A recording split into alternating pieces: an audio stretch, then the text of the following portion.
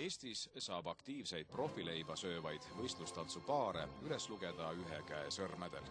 aktiivselt käib pidevalt võistlustelt võistlustele vaid üks paar, Warren ja Kristi Boyce. kui ma liikun, see on nagu, kuidas linn nagu lendab ja kõik, kõik on väga vaba ja eriti nagu, et ma tantsin koos mu naisega, siis on kõige parem tunne. Warreni ja Kristi kokkusaamise lugu on tantsuringkondades muutunud suisa legendiks. kokkusaamist juhtis salapärane saatuse sõrm, vähemalt nii nad ise räägivad. see kõik käis ühe nädala jooksul, meil oli mõlemal partner tegelikult olemas, kellega me väga, väga kenasti ja edukalt koos võistlesime ja tantsisime. ja siis sellel ühel nädalal minu partner otsustas katkestada tantsimise ja samamoodi Warreni partner otsustas katkestada Inglismaal on niisugune ülemaailmaline tantsuajaleht ja tantsnews. Dance News.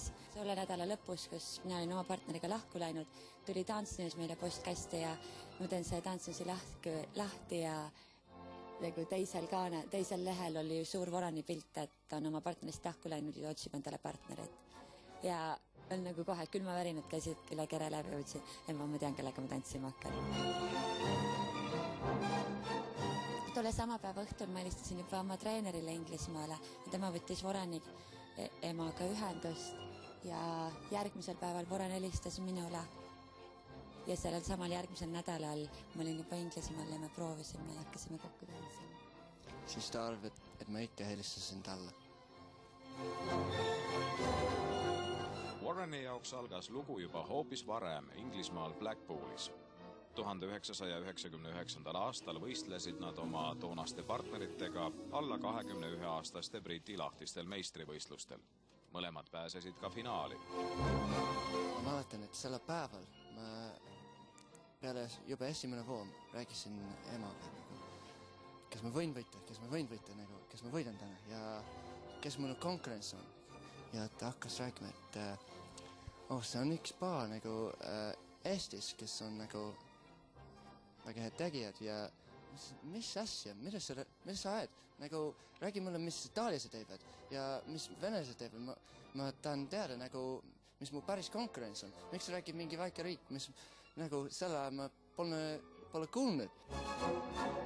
siis ta ütles, et okei okay,, okei okay,, ja ikka võidad ja, ja, ja siis äh, ema oli õiges, Krissi oli õiges, sellest äh, mõlemad tantsisime finaalis ja lõpetasime erineva poolt seal finaalis. Krissi oli esimene ja ma olen viimane mina mäletan, et peale seda võistlust ma viisin video koju, sest minu ema isa ei olnud Blackwoolis ja näitasin neile seda videot kodus ja tollel samal päeval, kui ma seda videot näitasin, ema ütles mulle, et jaa, aga vaata see poiss, kes seal kuues oli, see Ita-, see Inglismaa poiss, et vaata, teda pead veel vaatama, tema jääb sulle pikaks ajaks konkurendiks. et ta on küll kuues selles finaalis, aga, aga temas on midagi.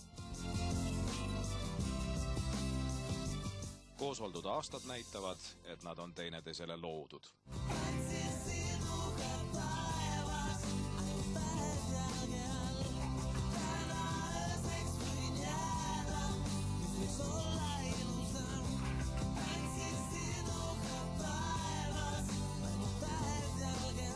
võidetud auhindade loetelu on lihtsalt niivõrd pikk.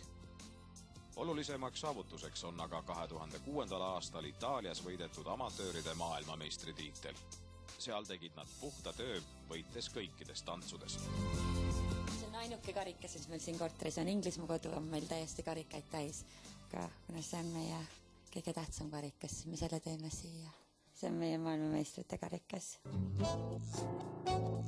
selle saavutuseni jõudsid nad esindades Warreni kodumaad Inglismaad. nüüd pöörasid nad uue lehekülje, minnes kahe tuhande seitsmendal aastal proffide sekka. seal esindatakse aga Kristi kodumaad Eestit. professionaaliks hakkamine on väike samm absoluutse tipu vallutamise poole. see on nagu järgmine vanuseklass kunagi olid amatöörid need, kes võistlesid oma päristöö kõrvalt. proff teenis raha aga läbi tantsu viimased kümme aastat on aga olukorda väga palju muutnud. sisuliselt vahet enam ei ole. ka tippamatöörid peavad tantsule pühenduma kakskümmend neli tundi ööpäevas. peamine vahe on raha jagamises. amatööre kutsutakse osalema ja makstakse kinni nende sõidukulud. Profid reisivad oma kulude ja kirjadega, kuid auhinnalaud on oluliselt rikkam. Warren ja Kristi tunnistavad, et lipu vahetamisel olid ka omakasud mängus. kuna Eestis ei ole hetkel tegevaid profipaare ja Inglismaal jällegi, et on hästi palju tegevaid profipaare ja Inglismaa tipud on väga-väga kõrgel tasemel, nad olid maailmameistrivõistlustel teised ja kolmandad. Siis meil lihtsalt, tegelikult meie õpetajatel tekkis see idee, et me saaksime kiiremini maailma ja Euroopa meistrivõistlustele, siis meil oleks kasulikum Eesti Vabariiki esindada. Warren Eesti esindamises probleemi ei näe. mees tunneb ennast juba pooleldi eestlasena. pange tähele, Warren õppis eesti keele suhtlustasandil ära juba kolme kuuga. Pole see keel midagi nii raske, kui mõned kohalikud rahvusvähemused väidavad. ma tahtsin teada, mis kõik räägivad sellest, ma arvasin, et kõik räägivad mida, midagi minust. siis ma õppisin ära ja siis sain ka aru, et keegi ei räägi minust mitte midagi. tants on aga karm sport. tippudele kohaselt treenitakse meeletult, mahud on üpris kõhedust tekitavad. ja tipphooajal siis äh, me võtame ise umbes kuus või seitse eritrenni päevas äh, siis on nagu kuus või seitse tundi nagu kuidas kui- õpetajaga trenni. Londonis ja siis sinna juurde tuleb veel kaks-kolm tundi ise harjutamist ja tipphooajal käib kolm korda nädalas sinna juurde ka veel personaaltreeneriga üldfüüsiline treening. see on pikk tööpäev treeningumahud neid ei hirmuta. Tõdetakse vaid päeva lõpus, et lihased on natukene valusad.